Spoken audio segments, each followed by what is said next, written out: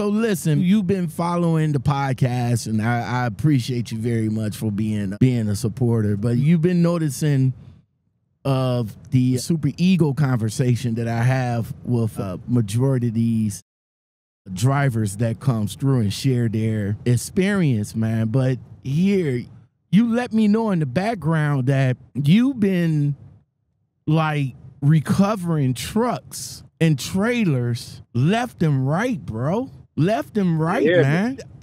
I I, I mean, they- I, they- I I see I see controversial company Super Eagle making money, man, but they they must be losing a lot of money. They they paying you to go and recover these trucks and trailers, as well as they losing out on whatever's load that's left on the truck, man. What's what's going on? They not paying these people. I, I know some people, you know, recently, shoot, they taking them damn trucks. They not, they not bringing them trucks back. Everybody that's talking about bringing it back, I'm gonna just drop it off. Super Ego gonna put something on your deck, regardless if you bring it back or not, just for the fact that you left. So the guys and you know people I done ran across, and I know they didn't simply snatch the trackers off and took them. They say they robbed me, I'm gonna rob them, and they don't never do nothing about it. And you know it's pretty much plain and simple. If they not gonna get the law involved. And apparently they know they're doing something that they ain't got no business. So yeah, they definitely losing a lot. They losing a lot. They got all these new uh, LLCs, E7 Logistics, and all that crap shit. They can't hide. They're trying to hide from that, that damn lawsuit. But the more LLCs they build, and I believe the feds eventually they gonna kick it in because you know you can't do it but for so long. But yeah, This is all a message to your friends. Stay away from Port Newark. Don't even drive out to Jersey. The so this one particular trailer where, where you at right now that you about to pick up, but you're not able to pick it up because the guy is stripping it out. What's going on with that? he, he said they owe the money. He said they ain't getting it back. He said they ain't not getting it back. He ain't the first one I ran across. There's plenty of them. He said they not getting it back. He said I'm about to get me at least twenty grand off this. I said, hey, do your thing. I ain't the police. I ain't the feds. I'm just here to recover it. All I can tell them is, hey, the truck ain't there.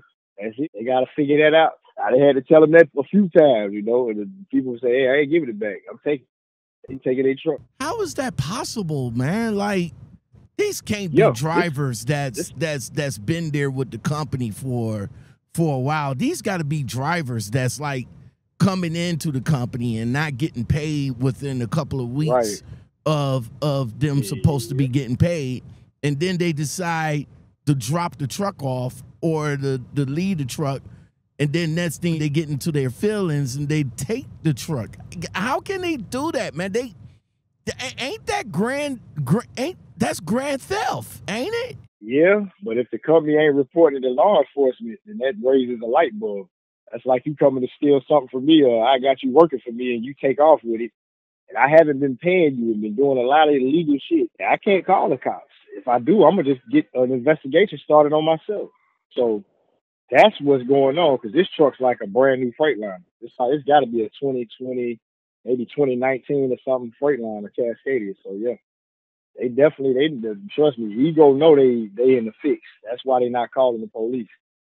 They they chase down the driver. They try to threaten the driver like they did that girl on your show before. Or they, you know they call them and call them. She dumped the truck off somewhere, and they just left it alone. They threaten you. Oh, we call the police. They never call the police. Nobody's never gonna come and get that truck. They're not gonna find it, and they know it. They, they just write it off. I, believe it's a tax write off. That's how they do it. Bro, how are they funding these trucks, though? If these drivers is taking their trucks and not returning them and, and stripping them out, how how are they funding these new trucks, bro? Like, what's what's up with They that? got a man? it's it's it's definitely a scam. Something going on because some of these trucks come from other companies that's owned by the Russians. They got a lot of them. If you look up the MC numbers, they based out of Ohio, Indiana, and Chicago. So they all in cahoots. Because I've seen some of the paperwork with the loads and stuff. It, it's different names under the load. It's not even booked under Floyd or Ego or Jordan or Windy City. So they they doing some real shifty stuff. They doing some shifty stuff. That's why they're not getting the law enforcement involved. Because people could just come over there. Like for example, there's a guy that works there. I ain't gonna mention his name. He's a fleet manager. He showed me on the computer screen one day. They got two trucks in Mexico. They had a couple of them over there in Africa. One was in Jamaica, and they can't go get it. they can't even pay nobody to go get it. So if you're getting vehicles shipped over or crossing the border with these vehicles, and the company ain't doing nothing about it, law enforcement ain't getting involved, that raises a flag. Africa, Trailers missing. Yeah, Afri- yeah, they had a Jamaica. they had a couple of them in Africa, Jamaica, and there's a couple of them over there in Mexico. Yeah, I, I, I can see. definitely. I can see Mexico. You could probably just drive over the border in Mexico. Right, make but fake documents and go right across the border. yeah, but we we looking at Jamaica. So we they they they actually got trucks shipped over to Jamaica. yeah, Wow. yeah. That's that's that. That what blew my mind when I saw that computer screen. I said, "Golly, How how said, much do you how much do you think them drivers got for those for those trucks to be shipped over to Jamaica and Africa? And since Johnny Sack ain't gonna step up, guess what? It's coming out of your race. You know, I'm, I'm starting to feel a little intimidated. As well you should, my friend. Woo-hoo. Especially brand new trucks, man. You probably getting down there hundred thousand dollars over there, maybe, because yeah, them brand new American trucks. So I'm pretty sure that you know the money they're getting from them. They said, well, you know what? They stole from me. I just make that money back, and I get, I take the truck, and my people will do something with it. And that's that's what it boils down to. If you know somebody that get down, that can strip that uh, a mechanic or something, or a driver that owns some trucks, and he needs some parts. Because even with the internationals, if you can you can get an international across the border. You know they're manufactured in Mexico if you look at the VIN numbers. So you can easily get a VIN number from over there. A couple of hundred bucks to get you a VIN number. It's, it's that serious. I asked Jane Doe uh, this question: If what what is going on, man? They Super Eagle is still making money hand over foot. Why they can't just treat their drivers the way the drivers wanted want to be treated? Well, they making money, man. They're making money, but they're losing more money. And my other question is this, bro. My other question is mm-hmm. this, man. Now that it's been it, it's been a couple of years now. It's it's not like the trucking community don't know nothing about Super Ego. There is no way that you can now come to me and be like, "Oh, well, I ain't know nothing about this company. I never heard of this company. That's why I went to that company." No, no, no. two two years, three years, three years.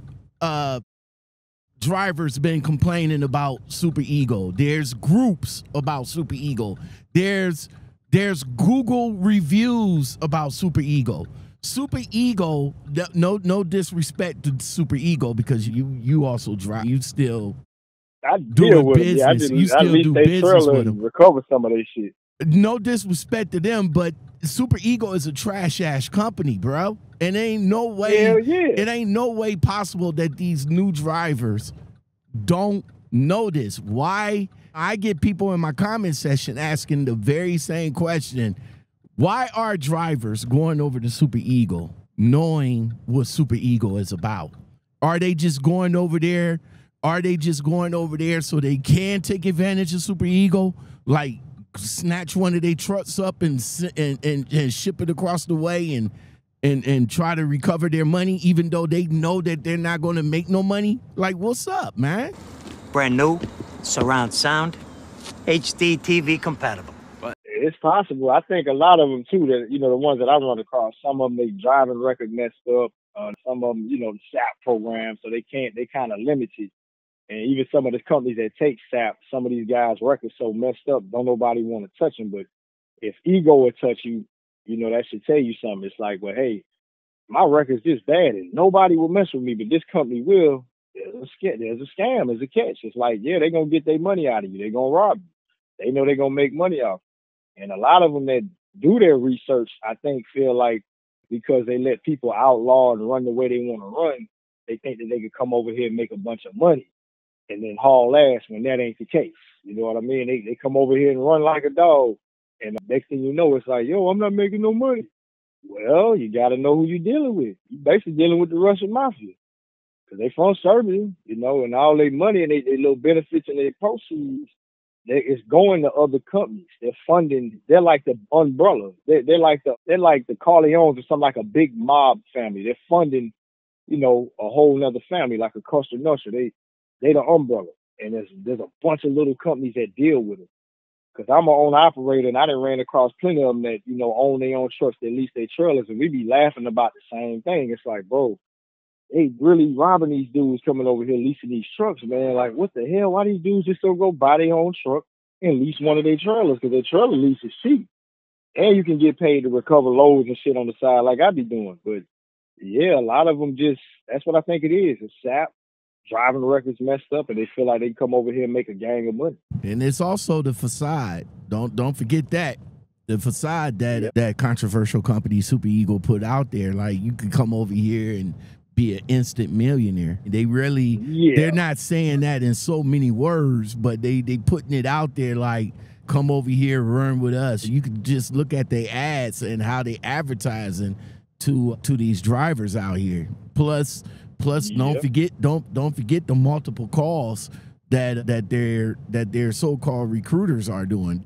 They're even calling up under I'm, I'm going to say false pretenses because I, I talked to a few of them already. One guy Mhm. named Robert, my name's Robert, and I'm recruiting for this company. You can make 60 cent a Fake mile for names. company.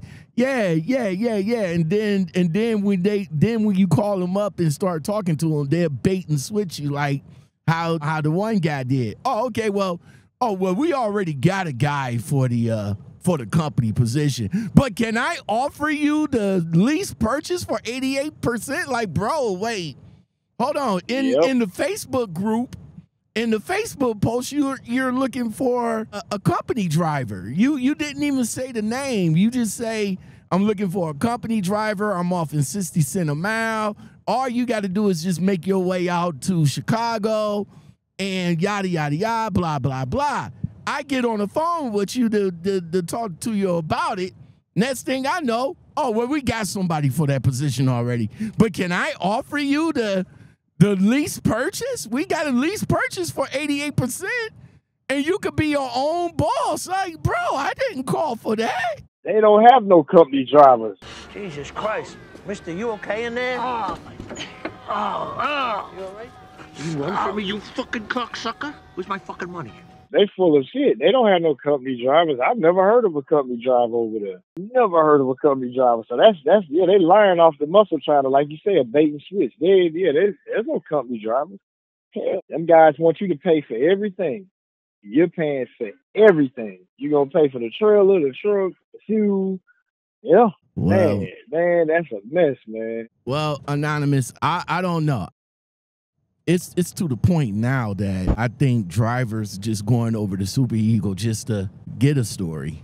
I, For I- the controversy. Yeah, just just for the controversy because I there's been a couple of there's been a couple of people that been reaching out to me and they want to come on and share their stories, but I I I haven't been extended interview because the one person reached out to me. They was only there for two weeks, and I'm like, nah. And then another Wow. person, and then another person reached out to me, and their their story is basically the same story that everybody been saying. So I I kind of backed off on a on a few guests, but yeah, the the Jane Doe, yeah, she was an awesome conversation because she brought uh, a little bit of the inner workings to to what was going on at controversial company Super Eagle. So so yeah, man. Yeah, they definitely going. They definitely eventually, you know, just like I said, it's like a dope dealer. You know, the feds can let you. They let you make all the money you want, do whatever you want, make you feel like you run shit, and eventually, yeah, they gonna close the doors in on. It. That's why I'm sticking around because I know I'm gonna get me a trail out of the damn deal.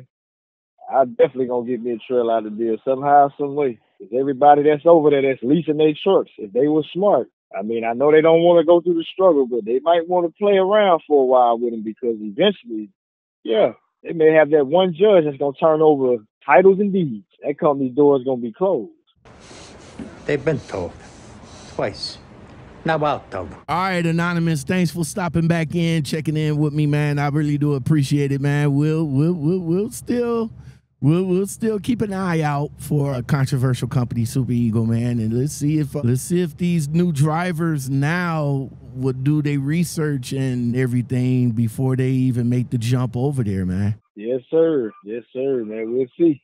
All right, I'll holler at you, man. You be easy. Stay safe out there, my guy. Uh, in too deep like Omar.